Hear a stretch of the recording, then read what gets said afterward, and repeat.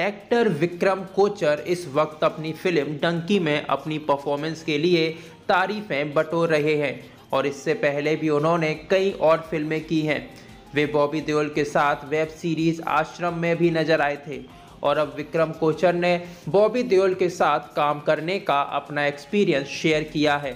विक्रम ने कहा कि बॉबी देओल को शराब पीना पसंद है और वे आश्रम के सेट पर पूरी टीम के साथ पार्टी करते थे। और वे भी बॉबी देओल के साथ मस्ती में पीते थे। लेकिन विक्की कौशल के साथ इसलिए पीते थे ताकि सीन एकदम कमाल का निकल कर आए। और जब वे आश्रम कर रहे थे तो बॉबी देओल ने उनसे कहा कि, कैसा पंजाबी है? दारू नहीं पी सकता।